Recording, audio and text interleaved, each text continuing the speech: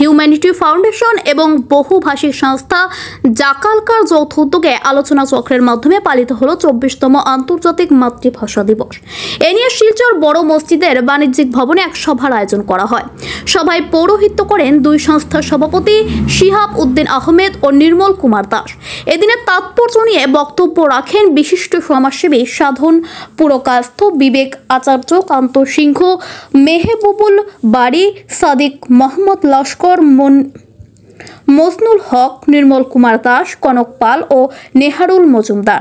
বক্তাদের সকলেই ভাষিক অগ্রসনের বিরুদ্ধে সম্মিলিতভাবে বিভিন্ন ভাষাভাষীর লোকেদের একই মঞ্চে আসার আহ্বান জানান। জাকালকার secretary general doctor M Shantikumar Singh বলেন, ভারতের প্রচলিত তেরোশো উনসত্তরটি ভাষার মধ্যে প্রায় ভাষায় বিলুপ্তির পথে। ভারতের সংবিধানের অনেক ধারা রয়েছে, যার মাধ্যমে মাতৃভাষা সংরক্ষণ সহ প্রচার এবং প্রসারের অধিকার দেওয়া হয়েছে সবাইকে।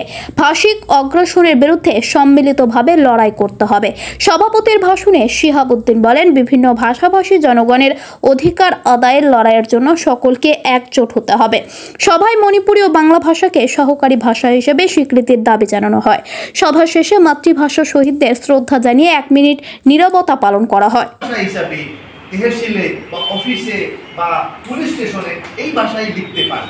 যদি নাইনটিন সিক্সটিতে সেটা দেওয়া থাকে হ্যাঁ হ্যাঁ যদি মণিপুরীরা অলরেডি যেখানে যেখানে সংখ্যা লঘু আছে লক্ষ্মীপুরে আছে উদারবন্দে আছে বা সোনাইতে কিছু কিছু আছে আমাদের সংখ্যা আছে তো আমাদের অধিকার তো আবার পুনরাবৃত্তি করতে লাগতেছে না। যে অর্ডার আছে সেই অর্ডারটা লাগু করলে হলো? তো আমাদের দাবি যেটা আছে দাবিটা তো অলরেডি পূরণ করে দিয়েছে। এতদিন এই এই বইটা বুঝে ওরা পড়েনি। আমি তো যেহেতু আমার সৌভাগ্য যে এইভাবে শিলচারের যারা বুদ্ধি তৃপ্ত মানুষ যারা বুদ্ধিজীবী তাদের সাথে তাদের সংস্পর্শে আসার জন্য আমি এইগুলো জানি। কিন্তু আমাদের মণিপুরের বিশেষ যারা বুদ্ধিজীবী আছে তাদের কাছে সেই নলেজটুকু নাই আমি বইগুলো পড়ি। তো আমি এটা বলেছি কিন্তু এখন এটা নিয়ে চর্চা হবে আমি কান্তদারেকেও বলেছি সেইটাকে উল্লেখ করে সাইটেশন করে আমরা মেমোরেন্ডাম দেব।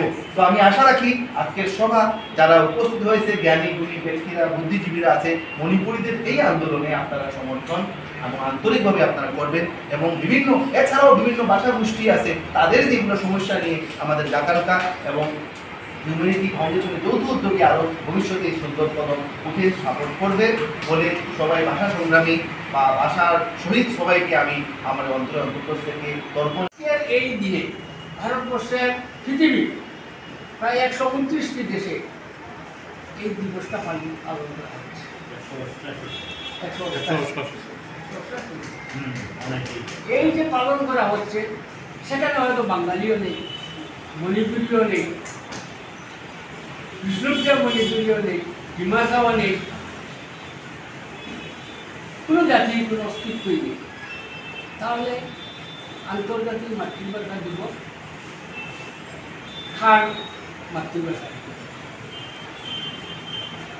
এই যে অন্তহীন জাতিগোষ্ঠী পৃথিবীর ব্যাপী যে বৈচিত্র্য, সেই বৈচিত্র্যের মধ্যে অক্ষ ভারতবর্ষের মূল নীতি যেটা, সেটাই আজকে বিশ্বব্যাপী। আজকের দিনে আমরা পৃথিবীতে দেখতে পাচ্ছি। এই যে বৈচিত্র্যের মধ্যে যে অক্ষ, ভারতবর্ষের বৈচিত্র্যের মধ্যে, ভারতবর্ষের সমস্ত জাতি গোষ্ঠীর বাঙালির স্বার্থে লড়াই করি কথা ঠিক। আর বাঙালির রক্ত জোড়া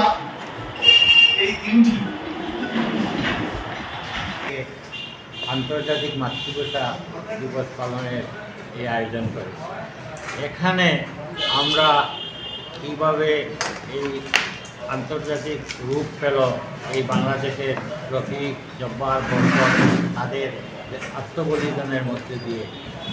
এ বিষয়ে বিভিন্ন বক্তা সাধনপুর দায়িত্ব চন্দ্রকুমার সিং, নির্মল কুমার দাস, সবাই আমার মগুল বাড়ি অনেক সারগর্ব বক্তব্য রেখেছেন। সব শেষে একটা কথা উঠে এসেছে যে আমাদের এই আসাম রাজ্যে বাঙালি এবং মণিপুরি আসামের দ্বিতীয় বৃহত্তর জাতিগোষ্ঠী হলো বাঙালি তারপরে মণিপুরি।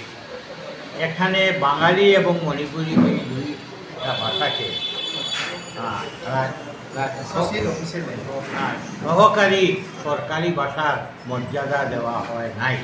তাই এই সভা, এই সিদ্ধান্তে উপনীত হয় যে যেহেতু এই অ্যাসোসিয়েট ল্যাঙ্গুয়েজ স্বীকৃতি দেওয়ার দায়িত্বে আসাম সরকার, আসাম সরকারের দায়িত্ব এটা, আমরা মাননীয় আসাম সরকারকে অনুরোধ করব এই বাঙালি এবং মণিপুরি দুইটা ভাষাকে সহকারী সরকারি ভাষার মর্যাদা দেওয়ার জন্য।